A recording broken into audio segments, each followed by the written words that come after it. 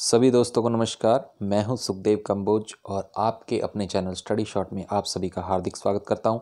दोस्तों, आज लेकर के आ गए हैं आज के करंट अफेयर्स। तो चलिए चर्चा कर लेते हैं। A double S O C H A M enterprises of the century award हाल ही में किसे प्रदान किया गया है? तो दोस्तों, मैं आपको बताना चाहता हूँ कि ये जो संस्था है, यानी A double S O C H A M तो इसका पूरा नाम आपको कई बार हो सकता है एग्ज़ाम के अंदर पूछा गया हो। A S H O M का पूरा नाम होता है associated chambers of commerce and industry of India तो ये इसका पूरा नाम है दोस्तों। ये एक संस्थान ऐसा है इंडिया के अंदर जो डोमेस्टिक प्लस इंटरनेशनल दोनों तरह के ट्रेड्स को क्या करता है प्रमोट करता है। यानी दोनों तरह के उद्योगों को जो हमारे देश के अंदर होते हैं और देश से बाहर होते हैं, इनको क्या करता है प्रमोट करता है ये संस्था। और इस संस्था को जो बनाया गया था, वो इसी उद्देश्य के साथ बनाया गया था कि इसको ज़्यादा से ज़्यादा इसमें क्या हों, मेंबर्स हों। तो प्रेजेंट के अंदर इसमें काफ़ी सारी कंपनियाँ जुड़ी हुई हैं, तकरीबन साढ़े चार लाख कंपनियाँ इसके अंदर रजिस्टर्ड हैं, और प्रोफेशनल। कंपनी प्लस प्रोफेशनल, जो हमारे डोमेस्टिक व्यापार करते हैं प्लस इंटरनेशनल व्यापार करते हैं। तो ये संस्था ऐसे रूल्स एंड रेगुलेशन बनाती है ताकि व्यापार को सुगम बनाया जा सके, यानी इजी बनाया जा सके। तो एक एक तरह का इंटरमीडिएट जो है, एक तरह के बिचौलिए का काम करती है। किसी भी बिज़नेस और इंटरनेशनल पर और डोमेस्टिक में अगर कोई पॉलिसी को, किसी चीज़ को समझ नहीं आ रही तो उसको असिस्ट करती है उस कंपनी को। तो ज़्यादा से ज़्यादा ये क्या करती है कंपनियों को मेंबरशिप देती है और जो कंपनियाँ इससे जुड़ी हुई हैं तो वो इसकी हेल्प प्राप्त करती हैं। हाल ही में क्या किया गया दोस्तों? इसका फाउंडेशन वीक मनाया गया है। यानी इसका स्थापना दिवस मनाया गया है और स्थापना दिवस को एक वीक के रूप में, यानी पंद्रह से उन्नीस दिसंबर तक ये मनाया गया था। तो पंद्रह से उन्नीस दिसंबर इसमें क्या किया गया कि पीएम ने हमारे, इसको संबोधित किया था। और enterprises of the century award इसके अंदर दिया गया था। अब आपसे क्वेश्चन ये पूछा गया कि enterprises of the century award इस साल का किसे मिला है? लेकिन उससे इम्पोर्टेंट ये भी है कि यहाँ इस साल की इसकी थीम क्या थी? तो 2020 की जो इसकी थीम थी, ये भी आपसे पूछ सकता है। 2020 की थीम जो थी India's resilience Atmanirbhar road map towards a US five trillion economy तो फाइव मोटा मोटा आप याद रख सकते हो कि फाइव ट्रिलियन इकोनॉमी का जो है लक्ष्य रखा गया है हमारे प्रधानमंत्री द्वारा कि आने वाले समय में हम फाइव ट्रिलियन इकोनॉमी को क्या कर देंगे क्रॉस कर देंगे।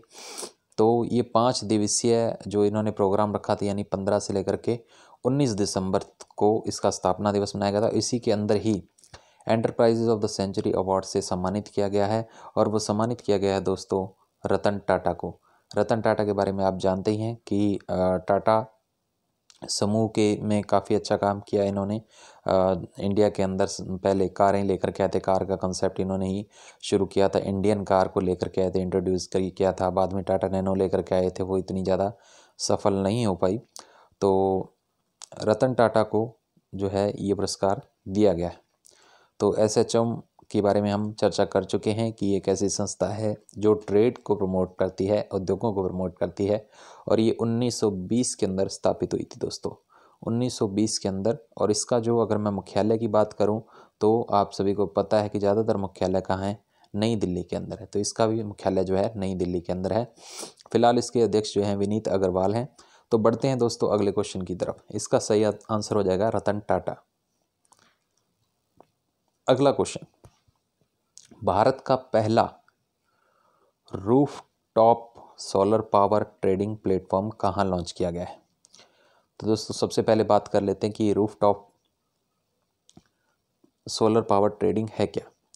तो उससे पहले, जाने से पहले हमें रूफ टॉप सोलर पावर जो सिस्टम है, ये दोस्तों क्या होता है? बड़ी बड़ी जो कमर्शियल बिल्डिंग है या जिसकी रूफ का जो यानी छत का जो व्यास है, वो ज़्यादा है। वो कोई भी इंडिविजुअल का घर हो सकता है, या कोई कमर्शियल बिल्डिंग हो सकती है, या रेजिडेंशियल बिल्डिंग हो सकती है। तो जिसकी भी रूफ़ क्या है, ज़्यादा है तो वहाँ पर क्या किए गए हैं सोलर प्लेट्स लगाई जाती हैं, और एक से लेकर के दस मेगावाट एक से दस मेगावाट तक क्या कर सकता है, वो उत्पादन कर सकता है। तो अभी ये पहले भी हो रहा था तो इसमें कोई नई चीज़ नहीं है, लेकिन अभी क्या किया गया है? इसकी खरीद फरोख्त, यानी जैसे कि शेयर बाज़ार के अंदर जो ट्रेडिंग होती है, यानी किसी के पास अगर कोई ज़्यादा शेयर है तो वो बेच देता है और दूसरा ख़रीद लेता है। इस तरीके की ट्रेडिंग प्लेटफॉर्म जो है लॉन्च किया गया है। और ये लॉन्च किया गया है दोस्तों उत्तर प्रदेश की, योगी सरकार ने।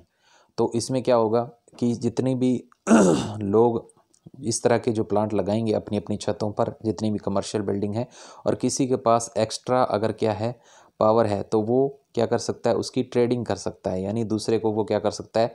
सेल कर सकता है। और ये सेल कर सकता है और उसके बाद में वो सरकार से भी क्या कर सकता है? कॉन्टैक्ट कर सकता है, इसको जमा करवा सकता है और अपने बिल में कटौती करवा सकता है। ये सुविधा पहले भी थी, लेकिन अभी क्या है, इसका ऑनलाइन ट्रेडिंग प्लेटफॉर्म जो है, वो लॉन्च किया गया है और ये देश में पहली बार हुआ है। और तो ये अपने आप में इंपॉर्टेंट क्वेश्चन बन जाता है। तो roof top solar power trading platform जो है उत्तर प्रदेश के अंदर लॉन्च किया जा चुका है दोस्तों। लेकिन अभी इसका पायलट प्रोजेक्ट चल रहा है, जिसमें बारह प्रतिभागियों को क्या किया गया शामिल किया गया है, जिसमें नौ तो एज ए क्या रहेंगे? ग्राहक की भूमिका में रहेंगे और बाकी तीन जो होंगे, दूसरे रहेंगे, यानी बेचने वाले होंगे। तो इस तरीके से अभी कोई पैसों की इसमें लेन देन नहीं होगी। अभी तो पायलट प्रोजेक्ट है एक तरह का तो लेकिन बाद में इसे क्या कर देगा? पूरा, पूरी तरह लॉन्च कर दिया जाएगा। तो भारत का पहला roof top solar power trading का जो है शुभारंभ हो चुका है। उत्तर प्रदेश के अंदर ये चीज़ बन चुकी हैं। तो उत्तर प्रदेश के मुख्यमंत्री आपको पता ही हैं, योगी आदित्यनाथ जी हैं। और वहाँ के जो है राज्यपाल भी काफ़ी इंपॉर्टेंट है क्योंकि उत्तर प्रदेश एक ऐसा स्टेट है, वहाँ से क्वेश्चन लाजमी आपका जो है उठता ही उठता है और ख़ास करके राज्यपाल जो क्वेश्चन राज्यपाल पे बनते हैं, राज्यपाल आपको सभी स्टेट्स के याद होने चाहिए। तो यूपी के जो हमारे राज्यपाल हैं वो आनंदीबेन पटेल हैं। कौन है? आनंदीबेन पटेल। तो आनंदीबेन पटेल जो है वहाँ के क्या हैं? राज्यपाल हैं और कार्यकारी अध्यक्ष जो इस पावर लेज़र के थे, वो जेमा ग्रीन है। तो ये इतना इम्पोर्टेंट नहीं है तो वहाँ के मुख्यमंत्री राज्यपाल आपको याद रखते हैं। और इसमें, इस क्वेश्चन में इतना ही था दोस्तों सोलर पावर ट्रेडिंग का शुभारंभ हो चुका है उत्तर प्रदेश के अंदर। अब बढ़ते हैं अगले क्वेश्चन की तरफ़। अगला क्वेश्चन जो आ रहा है आपकी स्क्रीन पर ease of doing business E O D B ease of doing business की ताज़ा रिपोर्ट के अनुसार भारत की रैंकिंग आपसे पूछी गई है। अब ये होता क्या है? ईज़ ऑफ़ डूइंग बिज़नेस दोस्तों ईज़ ऑफ़ डूइंग बिज़नेस क्या है? एक तरह की रिपोर्ट है। रिपोर्ट जारी करता है कौन? वर्ल्ड बैंक तो वर्ल्ड बैंक हर साल क्या करता है? रिपोर्ट जारी करता है, जिसके अंदर ईज़ ऑफ़ डूइंग बिज़नेस यानी किसी भी देश के अंदर बिज़नेस को शुरू करना कितना इजी है, कितना मुश्किल है। तो ये चीज़ों की वो रिपोर्ट तैयार करता है। इसका जो है, अभी सत्रहवां संस्करण जो है लॉन्च किया गया है। यानी सत्रह रिपोर्टें इसकी आ चुकी हैं। तो सत्रहवें रिपोर्ट के अंदर जो है भारत की रैंकिंग इसमें डिसाइड की गई है। उससे पहले बात कर लेते हैं कि इसमें क्या होता है दोस्तों 190 देश भाग लेते हैं। तो 190 देशों की क्या की इकनॉमी को क्या किया जाता है? जो वहाँ पे निगरानी रखी जाती है कि वहाँ पे बिज़नेस करना, यानी ईज़ ऑफ़ डूइंग बिज़नेस जो है, कितना आसान है, कितना मुश्किल है। इसमें कुछ पैरामीटर्स रखे जाते हैं और इस पैरामीटर्स के आधार पर ही क्या किया जाता है? कि वहाँ पे ये डिसाइड किया जाता है कि किसी भी देश के अंदर बिज़नेस करना कितना आसान है। फॉर एग्ज़ाम्पल जैसे अगर मैं बात करूँ तो इसमें मोस्टली टेन टॉपिक्स पर ज़्यादा दौर दिया जाता है। इंडिकेटर्स ऐसे हैं। जैसे मान लो, अगर हम बात करें तो वहाँ पे कुछ एक जो इंडिकेटर हैं, उस पर हम चर्चा कर लेते हैं कि किसी देश में स्टार्ट करना बिज़नेस स्टार्टिंग यानी स्टार्टिंग किसी बिज़नेस की कितनी आसान है।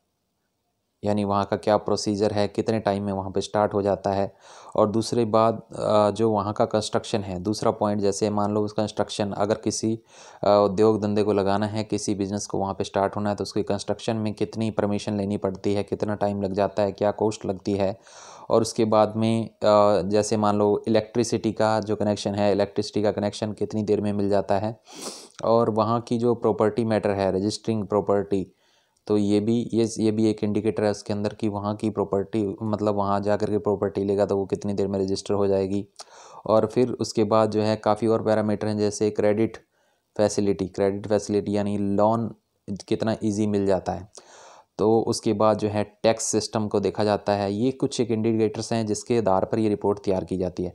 तो दोस्तों ईओडीबी की जो रिपोर्ट तैयार की जाती है वर्ल्ड बैंक द्वारा इन्हीं इंडिकेटर को देख करके तैयार की जाती है। और इस पर अगर हम चर्चा करें तो इस में फ़र्स्ट रैंकिंग जो है वो है न्यूजीलैंड की। न्यूजीलैंड जो है प्रथम देश है जहाँ पर कि क्या है ये जो है ज़ीरो पॉइंट फाइव डेज़ में ऑलमोस्ट क्या है कोई भी बंदा अपना जो क्या कर सकता है व्यापार शुरू कर सकता है। जबकि भारत के अंदर जो रैंकिंग दी गई है, अभी कुछ रैंकिंग में सुधार हुआ है तो ईज़ ऑफ़ डूइंग बिज़नेस की रैंकिंग फ़िलहाल जो है सिक्सटी थ्री नंबर है। जबकि जो चीन है, उसकी रैंकिंग में थोड़ा सा गिरावट आई है तो 85 नंबर पे पहुँच सकता है। चीन की मैं इसलिए बता रहा हूँ, क्योंकि ये भी क्वेश्चन आपसे पूछा जा सकता है, क्योंकि हमारे पड़ोसी देश है और चीन विकासशील देश है एक तरह का। तो 85 नंबर पर चीन है और 63 नंबर पर हम पहुँच चुके हैं। 63 नंबर जो है हमारा 190 देशों की सूची है ये। 190 देशों की रिपोर्ट में ईज़ ऑफ़ डूइंग बिज़नेस जो वर्ल्ड बैंक द्वारा एक रिपोर्ट तैयार की जाती है, उसमें तिरसठवां जो है हमारे को रैंक मिला है और इस साल की जो थीम है, वो थीम है दोस्तों comparing business regulation in one nineteen one ninety economies तो ये आपको बता चुका हूँ मैं सारी चीज़ें और फ़र्स्ट रैंक की अगर मैं बात करूँ तो न्यूजीलैंड है और सेकंड रैंक की बात करूँ तो सिंगापुर है। तो सिंगापुर में भी इजी है बिज़नेस शुरू करना और सबसे इजी है न्यूजीलैंड के अंदर। तो फैक्टर्स जो इसके अंदर किए जाते हैं, वो आपको मैंने बता दिए हैं। वर्ल्ड बैंक की रिपोर्ट होती है ये। और फ़िलहाल जो मुख्यालय है वर्ल्ड बैंक का, ये बहुत बार जनरल क्वेश्चन है। तो मुख्यालय है वाशिंगटन डीसी के अंदर। वाशिंगटन डीसी के अंदर क्या है? संयुक्त जो यूएसए के अंदर पाया जाता है, यानी संयुक्त राज्य अमेरिका के अंदर वाशिंगटन डीसी है और वहाँ पे वर्ल्ड बैंक का हमारा मुख्यालय है। तो सो इतनी बात हो गई। अब बढ़ते हैं अगले क्वेश्चन की तरफ़। अगला क्वेश्चन जो आ रहा है आपकी स्क्रीन पर, उस पर थोड़ी चर्चा कर लेते हैं। Asian water development outlook 2020 advancing water security across Asia and the Pacific के अनुसार कितने लोगों के पास स्वच्छ जलापूर्ति का अभाव है? तो ये एक रिपोर्ट क्या, तैयार की गई है दोस्तों, और ये रिपोर्ट तैयार की गई है जो हमारी एडीबी के द्वारा। एडीबी आपको पता होगा, एशियन डेवलपमेंट बैंक है, और ये एशिया क्षेत्र के अंदर जितनी भी क्रेडिट फैसिलिटी है, लोन की जो सुविधा है, वो प्रदान करता है एडी बैंक, और काफ़ी बड़े बड़े जो प्रोजेक्ट्स इंडिया के अंदर, उसको भी ये फाइनेंस करता है। तो एडीबी के बारे में ये बात हो गई और एडीबी ने ही रिपोर्ट ये दी है वाटर क्राइसिस पर लेकर के और वाटर क्राइसिस को लेकर के कितनी लोगों के पास क्या है जलापूर्ति का अभाव है तो जनरल क्वेश्चन एक बन रहा है तो इस पर कुछ ज़्यादा चर्चा करने वाली बात है नहीं। तो टू पॉइंट वन बिलियन उसने कहा है कि ऐसे लोग हैं पूरे अपने यहाँ पर जो एशिया के अंदर जिसको क्या किया है, स्वच्छ जल की आपूर्ति नहीं हो पाई तो लगभग ये इसमें ग्रामीण क्षेत्र के डेढ़ अरब लोग आते हैं, जबकि शहरी क्षेत्रों में छः सौ मिलियन लोग ऐसे हैं। एशिया प्रशांत क्षेत्र के अंदर, एशियाई क्षेत्र के अंदर, क्योंकि एशिया के अंदर ही रिपोर्ट ये तैयार की गई है। तो ये अपने आप में क्वेश्चन अच्छा हो सकता है आने वाले दिनों में। तो फ़िलहाल इसका 2.1 बिलियन इसका आंसर है। बढ़ते हैं अगले क्वेश्चन की तरफ़। अगला क्वेश्चन आ रहा है आपकी स्क्रीन पर। भारत की पहली हाइपरसोनिक विंड टनल परीक्षण सुविधा कहाँ का उद्घाटन जो है, कहाँ किया गया है? तो ये आपसे पूछा गया है। इस पर चर्चा कर लेते हैं। भारत की पहली जो है, हाइपरसोनिक विंड टनल का उद्घाटन किया गया है। अभी ये बात कर लेते हैं पहले कि इसका उद्घाटन किसके द्वारा किया गया है? इसका उद्घाटन किया गया दोस्तों राजनाथ सिंह, जो हमारे क्या हैं, रक्षा मंत्री हैं तो राजनाथ सिंह द्वारा क्या किया गया है। केंद्रीय मंत्री जो है हमारे राजनाथ सिंह, रक्षा मंत्रालय ने क्या किया है, इसका उद्घाटन किया है और यह है क्या, देश की पहली है तो इसलिए इम्पोर्टेंट क्वेश्चन है कि भारत की पहली हाइपरसोनिक विंड टनल का परीक्षण सुविधा। अब ये है क्या दोस्तों, ये एक्चुअल में है कि भारत की पहली ये क्या है, उन्नत हाइपरसोनिक विंड टनल है जिसकी परीक्षण सुविधा। यानी कोई भी अगर हमारे जेट विमान बनता है जो हाइपरसोनिक पावर से है तो हाइपरसोनिक पावर रखता है या कोई भी ऐसी मिसाइल बना देती है। आपको पता है कि हाइपरसोनिक मिसाइल्स भी इंडिया के अंदर तैयार की जा चुकी हैं और हाइपरसोनिक मिसाइल्स हैं या कोई भी जेट है तो उनका पूर्व परीक्षण ही क्या कर, किया जा सकता है? इस तरीके का जो है, वहाँ पे प्लेटफॉर्म जो है लॉन्च किया गया तो वहाँ पे हमारी परीक्षण सुविधा को दिया गया है तो वहाँ पर परीक्षण किया जा सकता है। तो ये देश का पहला है और ये तैयार किया गया दोस्तों तेलंगाना के अंदर। तेलंगाना में डीआरडीओ का सेंटर है। रक्षा अनुसंधान विकास डीआरडीओ के doctor A P Abdul Kalam missile complex. तो वहाँ पर जा कर के इन्होंने क्या किया है? इसका उद्घाटन किया है तेलंगाना में। तो तेलंगाना आपको पता है कि नवीन राज्य है। तो ये भारत की पहली हाइपरसोनिक विंड टनल का क्या किया गया? वहाँ पे परीक्षण किया गया। तो इसमें इतनी सी बात है दोस्तों तो इस के बारे में आप इतना ध्यान रखें कि ये तेलंगाना के अंदर इसका परीक्षण किया गया है। हाइपरसोनिक विंड टनल जो है अपने आप में काफ़ी इंपॉर्टेंट है क्योंकि ये भारत की पहली है। अब बढ़ते हैं अगले क्वेश्चन की तरफ़। अगला क्वेश्चन जो आ रहा है आपकी स्क्रीन पर, अंतर्राष्ट्रीय मानव एकता दिवस। अंतर्राष्ट्रीय मानव एकता दिवस कब मनाया जाता है? ये भी जनरल क्वेश्चन है तो इसमें चर्चा करने वाली कोई ऐसी बात नहीं है। लेकिन मैं आपको बता देता हूँ कि अंतर्राष्ट्रीय मानव एकता दिवस जो है आपका क्यों मनाया जाता है? तो लोगों के अंदर भेदभाव को दूर करके, जो है इंटरनेशनल इसको इंग्लिश के अंदर बोलते हैं इंटरनेशनल ह्यूमन सॉलिडेटरी डे जो है अभी हाल ही में मनाया जाएगा, मनाया गया है दोस्तों और मनाया जाता है दोस्तों ये 20 दिसंबर को। इसमें इतनी चर्चा है कि ये 20 दिसंबर को मनाया जाता है मेन मेन बात इसकी ये है और मानव एकजुटता दिवस इसको बोला जाता है और ये 2006 से मनाया जा रहा है। तो 2006 से मनाया जा रहा है और इसका उद्देश्य जो है वही है कि लोगों में गरीबी उन्मूलन करना, उनको प्रोत्साहित करना, एकजुट होकर के रहना और जो अपनी भूमिका जो है समाज के अंदर पहचानना, ये सारी चीज़ें हैं जो इस में क्या की जाती हैं इस वीक के अंदर, इस जब इसको सप्ताह को मनाया जाता है और इस दिन को मनाया जाता है, अंतर्राष्ट्रीय मानव एकता, एकजुटता दिवस के रूप में मनाया जाता है। तो 22 दिसंबर 2005 से लगभग ये मनाया जा रहा है 2006 से। तो इसके अंदर इन्हीं चीज़ों को प्रमोट किया जाता है कि एकजुट होकर के रहो और 20 दिसंबर को ये हर साल मनाया जाता है। तो इसमें दोस्तों इतनी सी बात थी। अब बढ़ते हैं अगले क्वेश्चन की तरफ़। अगला क्वेश्चन भी एक जनरल क्वेश्चन है, इसमें चर्चा करने वाली बात नहीं है, लेकिन ये हाल ही में अगर एग्ज़ाम है तो आपका ये क्वेश्चन पूछा जा सकता है। तो Astra M K one missile I M S A S boss system, जिनमें सशस्त्र बलों को सौंप दिया गया है, किस संगठन द्वारा विकसित किए गए हैं? आत्मनिर्भर कॉन्सेप्ट जो है मोदी जी ने चलाया है तो उसकी तरफ़ ही जो है इंडिया बढ़ रहा है। और अभी जितनी भी मिसाइल्स हैं और सिस्टम्स जो हैं, हमारी जो सेना के, वो हमारे देश के अंदर स्वदेशी सिस्टम तैयार किए जा रहे हैं। और इसी संदर्भ में डीआरडीओ जो है हमारा जो कि रक्षा प्रणाली को विकसित करने वाली एक संस्था है डीआरडीओ। और डीआरडीओ ने ही क्या मिसाइल तैयार किए हैं, जो तीनों के लिए, जो हमारे तीनों तरह की सेना है, उनको एक स्वदेशी missile I M S O और बॉस सिस्टम जो है, तीनों नौसेना के लिए एक एक प्रणाली जो तैयार की गई है, वो जो है सौंप दी गई है और ये विकास किया गया है डीआरडीओ के द्वारा। तो दोस्तों, ये बन रहे थे क्वेश्चन आज के। उम्मीद करता हूँ आपको क्वेश्चन ये अच्छे लगे होंगे और इसी तरीके से क्वेश्चन हम लेकर के आते रहेंगे जो कि आपकी परीक्षा की दृष्टि से काफ़ी इंपॉर्टेंट रहेंगे। तो अगर अच्छी लगी वीडियो तो अपने दोस्तों के साथ शेयर और लाइक करना ना भूलें। धन्यवाद दोस्तों।